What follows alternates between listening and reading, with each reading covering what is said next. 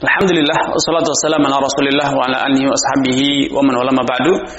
Saudara Danang Sindu di Yogyakarta bertanya, bagaimana menurut Islam tentang perjanjian pranikah yang mengatur hak dan kewajiban suami dan istri, terutama dalam mengatur masalah harta atau finansial. Terima kasih kepada saudara Danang Sindu di Yogyakarta atas kebersamaannya. Semoga Allah Subhanahu wa taala menampakkan taufik kepada Anda, keluarga dan juga seluruh pemirsa Fatwa TV di mana pun Anda berada. Ikatan nikah secara otomatis Anda suka atau tidak, Anda rencanakan atau tidak, Anda sepakat ataupun tidak. Ikatan tersebut akan menghasilkan beberapa konsekuensi yang melekat dengan status pernikahan atau status sebagai suami dan istri. Seorang suami secara secara pasti, secara ketentuan syariat berkewajiban menafkahi. Hubungan pernikahan secara otomatis mengakibatkan adanya hak waris mewarisi. Hubungan pernikahan secara otomatis pula menjadikan istri berhak mendapatkan nafkah rumah, sandang, pangan, dan papan yang layak dari suaminya. Dan demikian seterusnya. Sebagaimana pernikahan menjadikan suami berhak menggauli istrinya, berhak untuk ditaati bahkan wajib atas istri untuk taat kepada suaminya ini adalah suatu ketetapan yang tidak bisa diganggu gugat. Itu satu ketetapan yang telah Allah gariskan dalam Al-Quran dan Sunnah. Sedangkan agreement, perjanjian antara manusia, perjanjian antara manusia membuat komitmen atau toleransi itu hanya berlaku pada hal-hal yang bersifat mubah, hal-hal yang belum diatur secara syariat. Sehingga ketika Anda membuat agreement bahwa pernikahan itu hanya menghasilkan satu hak atas sebagian harta kekayaan suami alias istri tidak bisa mewarisi suami kecuali pada harta yang didapat setelah pernikahan misalnya atau sebaliknya. Demikian maka ini perjanjian yang batil.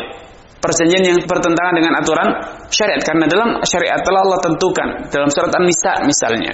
Allah Subhanahu wa taala tegaskan walahunna mithlu alladhi alaihi bil ma'ruf. Kaum wanita memiliki hak yang setimpal dengan kewajibannya semua itu ditunaikan dengan yang ma'ruf. Dalam surat An-Nisa Allah juga tegaskan tentang hak waris. Walakum nisfu ma taraka azwajukum illam yakul lahun walad.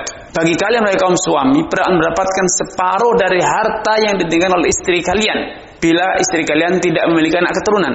Sebaliknya pun demikian walahun rubu mimma taraktum. Kaum istri berhak mendapatkan seperempat dari yang ditinggalkan oleh suami bila suami tidak memiliki anak keturunan. Dan hukum-hukum waris selanjutnya. Intinya, bila kesepakatan itu dicapai dengan konsekuensi melanggar bertabrakan dengan hukum yang telah ditentukan dalam syarat maka kesepakatan itu batil, sia-sia, gugur atau batal demi hukum. Rasulullah SAW bersabda, "Ma min syartin laisa fi kitabillah fa huwa batil wa in kana mi'ata syart." Persyaratan apa pun yang bertentangan dengan hukum Allah maka persyaratan itu batil atau batal demi hukum walaupun persyaratan itu berjumlah 100 biji 100 persyaratan. Semuanya batal demi hukum karena bertentangan dengan hukum syariat. Syaratullahi ahak kitabullahi ahak wa syaratullahi awsa kata Nabi. Ketetapan yang ada dalam Al-Quran, ketetapan yang ada dalam kitabullah, dan persyaratan yang telah Allah tetapkan dalam Al-Quran dan Sunnah itu lebih utama untuk dijalankan, lebih wajib untuk ditunaikan.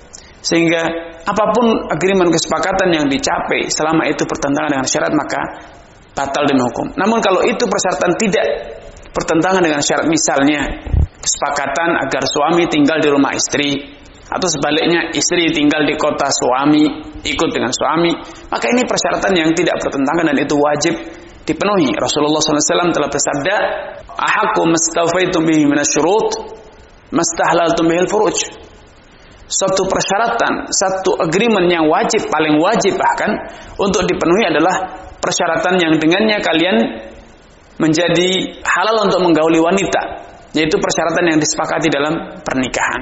Sekali lagi, bila itu bertentangan dengan hukum syariat, merubah ketetapan dalam agama, maka persyaratan itu walaupun telah dicapai batal demi hukum.